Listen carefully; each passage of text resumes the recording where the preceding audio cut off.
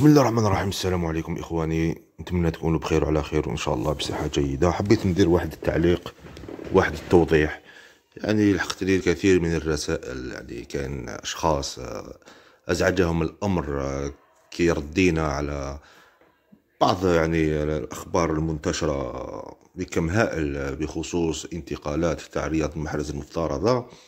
يعني هناك الكثير من مناصرين سين ولا نسميه بيتا ولا أوميغا. شخص ما في اليوتيوب يقول لك وعلاش تنتقدوا وكذا وكذا وأنت شكون وأنت واش قدمت وإلى آخره وإلى آخره. والله حبيت ندير هذا الرد يعني ماشي يعني إنسان زعفان ولا عادي عادي إحنا الانتقادات هذه هو هذه الدنيا هذا هو المجتمع. كاين آراء مختلفة كاين انتقادات كاين مدح.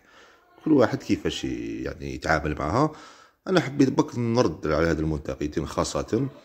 الذين يقولون أنت واش دخلك؟ كيف لا نشر كذا من هيك؟ ويقول لك هو على الأقل راه يقدم في الأخبار وراه يتعب.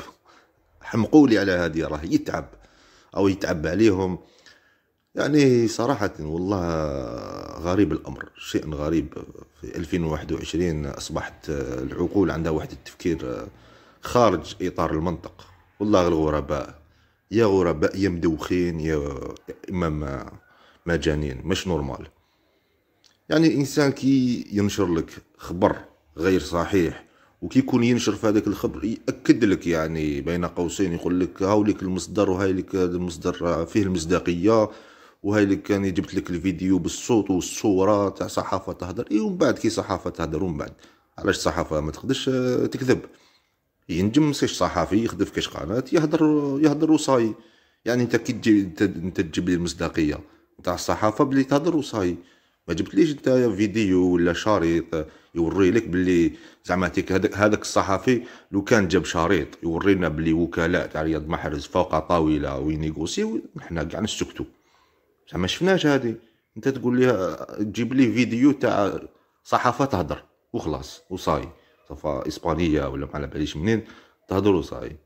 وفي آخر المطاف يتبين أن الخبر لا صحة له يعني نقدر نعتبرها أنها كانت أكاذيب. يعني واحد كي يقول لك يا ودي هاك اسمع وشوف المصدر. finalement يعني كانت أكاذيب. يعني نقول عليك؟ انت تكذب؟ بصح هذوك الصحفيين لم يكذبوا. يعني في اخر آخر المطاف لم يكن لا خبر صحيح. يعني يوتيوبر اللي ينشر هذه الأخبار ويأكد زعما أنا نحكي على اللي ينشر ويأكد. يأكد بطريقة غير مباشرة يقول لك ها المصدر اسمع وشوف إلى آخره. يعني أنايا في اعتقادي هذا يوتيوبر أو يخدم بكم باش يجيب المشاهدات وفقط باش يدير ال buzz يعني تحب تدافع على الإشاعات وتحب تدافع على الباطل وتحب تدافع على الأمور هذا الشيء يعنيك إنها حرية شخصية.